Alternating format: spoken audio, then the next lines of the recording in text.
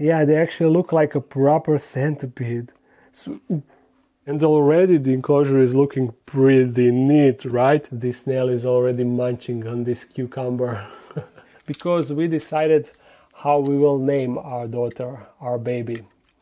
Her name will be. Today is one of those days where we have a lot of ground to cover, so let's just go.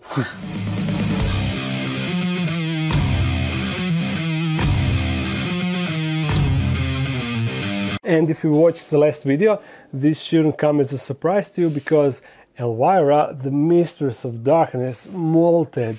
And I think that she is the, the biggest tarantula in the dark den and now she's even bigger. I just snatched that molt and unfortunately it is not super fresh and even though I knew that she will molt soon I didn't manage to record that. I didn't manage to catch her at the act. Yeah, the molt is not super moist, so I cannot really spread it to see how big she is now. Yeah, I will just break it if I continue. Um, in case you don't know how to spread the molt that is already dried up, you just take a cup, plastic cup, glass cup, whatever. You take a little bit of paper towel or toilet paper, whatever. You add a little bit of moisture to that. You stick a tarantula molt inside and close it off. The moisture will soften up the already dried exoskeleton, the molt, and after that you will be able to spread it and pose it however you like. So we are going to put that aside and we will quickly check her out. You see, she doesn't really look big because she is always clumped up, especially her back legs. You see, her back legs are basically in line with her abdomen. But if she spread those, then they would reach like, yeah, really far away. Uh, front are a bit spread, but she can definitely spread them a bit more. So yeah, I am pretty sure that she's the biggest but once her molt softens up and I spread it, I will be able to compare it with Linda's last molt and even though both are bigger than their previous molt, but comparing their latest molt, it should give us rough estimates to see which one is bigger. Now another molt, the second tarantula that molted is right here and maybe she is fresh. This is Nhandu chromatus and we moved her like month and a half ago inside of this new enclosure. Now I think that she will let me to take her and yeah, her molt. Thank you. And you see this molt is still fresh and I will be able to spread it easily. So I should definitely use that opportunity. Because I still need plenty of molts in order to restore the former glory of this board that contains all the molts. In case you don't remember, in second Dark Den I had a lot of molts on that board, but Felix he climbed across, in one his escape, he climbed across the entire board and destroyed majority of molts. That was really unfortunate, but it was my mistake to let him escape. If you look at this flap over here, you see, technically I should be able to lift it. Hmm. There, it was stuck a bit, but you should be able to clearly see it. Uh, this is spermatheca and this is the female reproductive organ or where she stores the sperm. I'm not 100% sure about the correct terminology, but when your molt, when your tarantula molt got that, it means that it is a female. Once it dries out, it will go right there on this molt panel or yeah, molt panel. now let me grab next topic of this video and that is the blue centipede that got babies. Now I don't want to expose her to light too long because I can see that baby's already moving a lot. Look at the progress.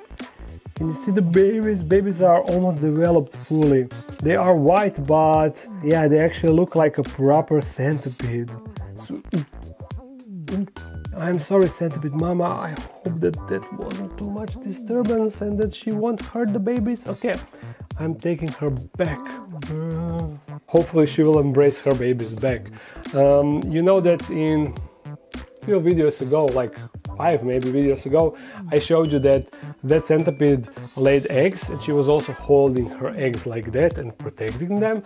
But a lot of you told me that just because centipede laid and it is keeping eggs, it doesn't mean that they are actually fertile, that the babies will hatch.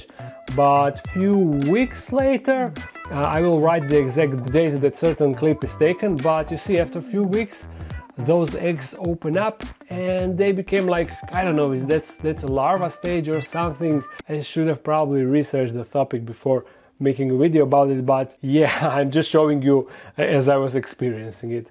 Those eggs opened and they evolved into these uh, wormy little thingies. And few weeks after that, they increase in size and slowly but surely with certain during the certain time you see they formed like a proper centipede shape and now in this last clip that I just showed you where I almost uh, startled the female to run away they are now proper centipede babies and please if some of you got experience breeding the centipedes let me know when I should uh, separate them so mama doesn't eat them. Okay, but that is super exciting and I was hoping for this to happen. I was hoping that the eggs uh, are fertile in fact and now that it is actually happening, developing in front of me, I cannot wait to uh, to separate all the babies and to see how many there are and how quickly they will grow individually.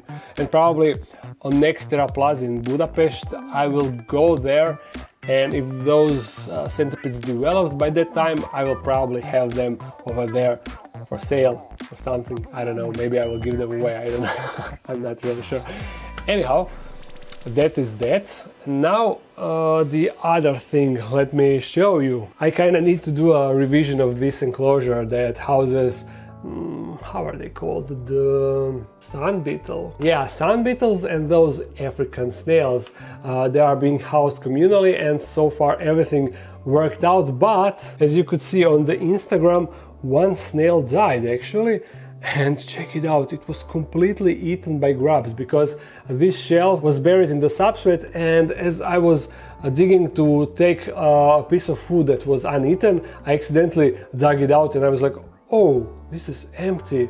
And grubs actually eat the whole thing which is crazy. I'm not really sure why uh, this snail died but i still have two inside and they are so far so good i don't know but what i want to do i want to take the enclosure see and i want to check out how the situation inside looks i want to check the substrate situation because to me oh, look i immediately found two big grubs because to me this looks like the substrate is most likely consists of grub poop, right? Yeah, it seems like they broke down most of the substrate inside. So what I want to do, I want to add more substrate and also I want to add more of this thing is for them today so they can eat. And also I want to add more leaf litter because I no longer see any leaf litter so I guess that they are also feasting on that but check it out. Another grub. It seems like the whole substrate is just full with with grubs as it should. Another one. Yeah and eggs you see you see the beetle is developing inside of this and also I've seen couple of here. Whoa! That beetle over there tried to fly away. Funny. I think that currently there are three beetles alive. This one is munching a piece of cucumber. But as I was saying you see two eggs here three eggs fourth. Okay this one is open hatched or actually eaten maybe? Dead? No that is actually larva left over once it hatches. Yeah it's all good. So you see this is the empty egg. The beetle gets out of that and also this one is open you see? Pretty cool. That is the actual reason why i don't just want to remove the entire substrate and put new one inside because this substrate is full of life. The eggs, the grubs, the larvas hatching into eggs, uh, not eggs, the beetles. Also there, there is ton of springtails inside and all of that would be lost if I would toss the entire substrate. So that's why I will just add more material inside. It should be good enough. And also while inside I will do a little bit of redesigning because I will try to secure this background a bit better with stuff that I put inside because I cannot really use the expanding foam now since the animals are inside. Look, another beetle developing inside of this. Uh, since the animals are already inside, I don't really want to use the expanding foam to secure it. It was definitely a mistake not securing it at start. Maybe I should just remove it all together. Yeah, that is the best solution since it is not really serving the background purpose. Uh, on the back I will just put a black uh, cover, yeah. Also check out snails. They are active during the night, so that's why they are currently not active. this one is so dirty. Look at all these grubs. They just keep popping out. I really like that. I will also take the cocoons outside and I'll return them once I add the substrate. It actually seems that this side of substrate is an actual substrate, you see? While this side of substrate is the poop. You see, it is definitely different. I don't know what is up with that. Oh, look at this, I found snail eggs buried down there. Uh, but I think that the grubs are eating most of them and that's why there are no uh, baby snails inside of this enclosure. But I think that I will take a couple of those eggs because I want like one or two new snail to start growing inside of the enclosure. So I'll just keep them in a separate enclosure and that way they should hatch. So after closer inspection this pile of substrate is all that I decided to add because the situation is not as bad as I initially thought and this is pile of rotting wood that I will also mix in. So that will be everything and of course on top of that I will put some leaf litter. These are all the cocoons that I managed to find and now I will just return them back inside of the enclosure and I will actually put them all at the same spot so maybe I'll be able to monitor them this way. Pretty cool sight. There, all hidden. Now to return the cork bark and also branches. And even though there is a lot of texture on this substrate, we are still going to add a little bit of sand for the texture. Ooh, I don't think that I'm doing much right. Yeah, let's just add the leaf litter. A little bit of this and a little bit of that. And already the enclosure is looking pretty neat, right? I cannot wait for more of these little buggers to spawn from these um, out of these cocoons. Yeah also the the snails are kind of probing the environment checking everything out. So let's retur return them inside. In you go mr snail number one.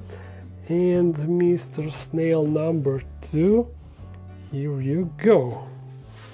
Great great great great. Also these bones for the calcium for snails and yeah I will feed them later on tonight after the video. Let me take them back to their spot. Actually I decided to give them food now and you see this snail is already munching on this cucumber. And there is a piece of banana for the the bug and he's also already on it. Sweet sweet sweet. I like it. I definitely like how it looks now.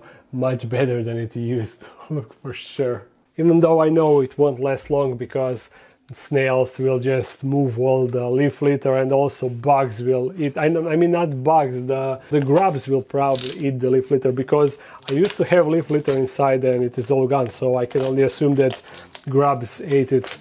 Now before we end this video we are done with the animal portion of this video but this you see I have couple of boxes to open. So that is how we are going to finish this. Looks like we have some sort of poster inside. Ooh, oh keeper's cards. Looks like Danny sent me something. Check it out. Tarantula anatomy. Thanks Danny although I have no idea where I will put it because I'm kinda really low on uh, wall space in here. I still haven't put all the fan art and I also have some cool paintings that I want to put on the wall. Also don't forget about all the cans that I received from all of you guys. Where will I put all of that? I have no idea, but I'm going to figure it out later. Do we have another poster in here? Oh, we have a letter.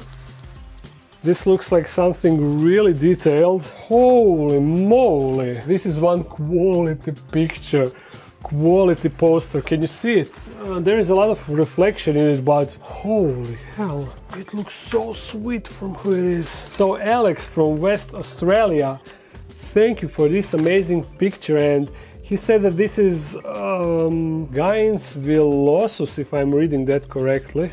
Hmm, that can be right. Ah, it is Gaius villosus. And it is not a tarantula, but it's something else. But it is a spider, of course. And he says that it is the it holds the world record for all the spider at 43 years of age and its lineage is about 180 million years. And he's asking if I can shout out the Obsidian Imaging. Is that your Instagram page? Let me check. Yep, it is. He also got the picture of that poster over there. Oh, and he got some really, really sweet pictures. If you're down for that stuff, make sure to check out his profile. He doesn't have a lot of pictures, but the ones that he got are awesome.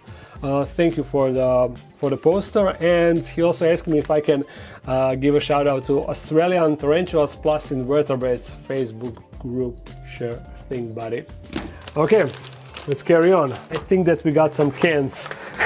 Yep some cans right there. And actually a lot of cans. Ah why does the can that I don't have can of monster that I don't have always needs to be busted? I think that I have this one.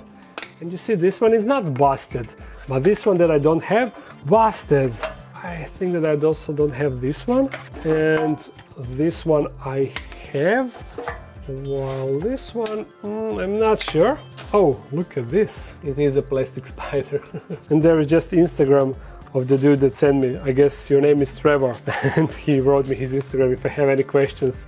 No, it's all right, I see. I see that you sent me some cans and I don't really have any questions in regards to that, except thank you for sending them.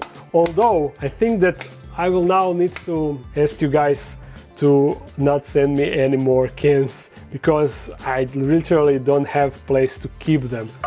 And this is some super old one. Look, it's 7 Up. But look how old it is.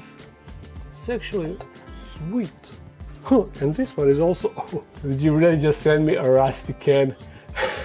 but this is also super old, you see? Thank you, but as I was saying, until I don't figure out what I will do with all the cans, how I will display them and where, I will restrain myself from getting more cans. And this last package is from someone really familiar. It is from Kenya and her family. I can already recognize her um, how do you say it writing yeah i can already recognize her writing for me i can already feel that it is a shirt Oh, actually two shirts. And of course that they are tarantula themed, you see. Sorry I'm late, I had to play with my tarantula. It is fitting for sure. And this one is just some tarantula logo. Sweet, thank you.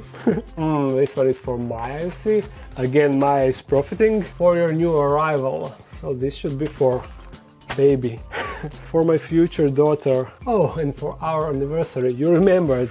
Yeah, already a year passed since I I got married with Maya. I cannot believe how time flies quickly. It is a card, so I will check it with Maya. And also I assume that that is something for us both. And this is for baby. Should I open it? Yeah, I will open it now. Babies cannot really open presents, so no point into keeping something for, for her. It is a plush cacti and it got bells inside.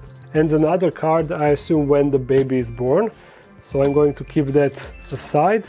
And should I open this? Not really sure if I should open this now or I will I will wait with this. Okay. Mm, Kenya, thank you.